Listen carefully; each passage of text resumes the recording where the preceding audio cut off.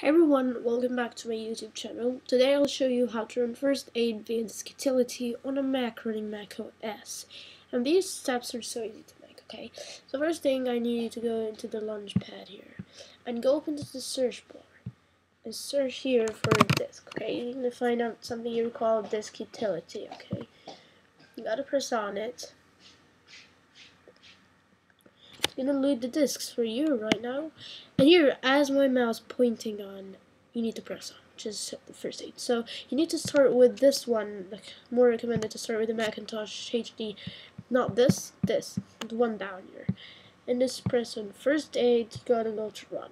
Um, the problem is if I run, okay, uh, the disk will be interrupted and the screen recording will stop. So uh, I, you can guys just do it. I can't do it right now. I I, well, I just um, did a recording before this, and when I did run, it stopped the screen recording because it was interrupted. And uh, you can also have the info from your disk utility. Look at that, you have all the info on it. You can, uh, after that, doing this one as first aid, go with that one.